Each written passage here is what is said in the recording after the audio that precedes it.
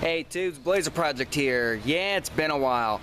Unfortunately, it's the 4th is coming up, so work picked up and didn't have my days off like I wanted to, but hey, little extra money in the bank. Toolbox behind me had to go into the shop and short AC system, and they also got some of the window problems fixed, so that's a thousand plus down the drain on the credit card, but hell, had to have AC, especially for the summer, and also loving to have the windows rolled down.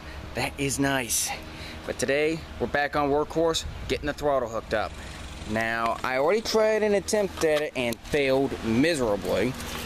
As You can see here, it just goes through, doesn't even operate, nothing. So, that all's gonna become an off. Get these return springs off. Got some more but you see the throttle moves back this way and I am keeping the governor sorry but I'm not ungoverning a brand new engine. Throttle would have been here but considering I want to use my foot it's over there. If I wanted to make it work well needless to say I'd be two-stepping the brake and the uh, throttle which I do not want. So Let's go over here to the workbench.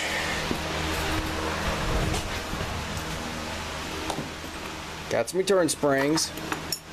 Plan is to have one L bracket and then another. Then this in between them and a piece of metal that basically pivots.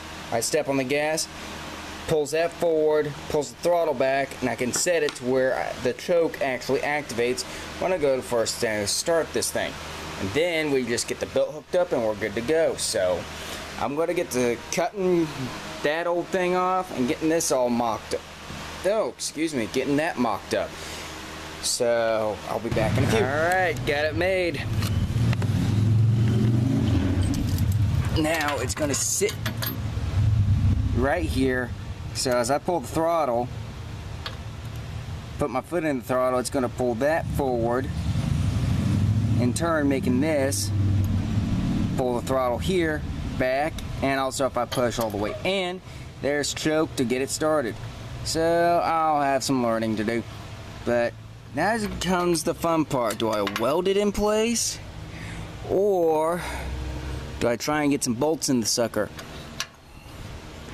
because I'm a little cramped for room right here. So that's going to be fun. I'll see what I can come up with.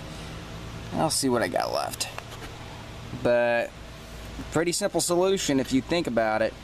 Now, I left this part out here so if I ever have to add something else on I can but for the most part I'm basically done with that bit just it's getting it all set up so yeah, this is gonna be fun. Well, shit on a stick. Looks like Mother Nature's not wanting to cooperate with me. We got storms moving in. Yeah, you can see the weather. It's coming this way. Fa. Damn it. But either way, made some good progress today. This is what I was talking about. Got two return springs. Basically, pull here, it automatically goes back to where it was Just like so. Now I've got a mechanical linkage in the works. This piece of all thread, pull there, pulls here, which in turn pulls there.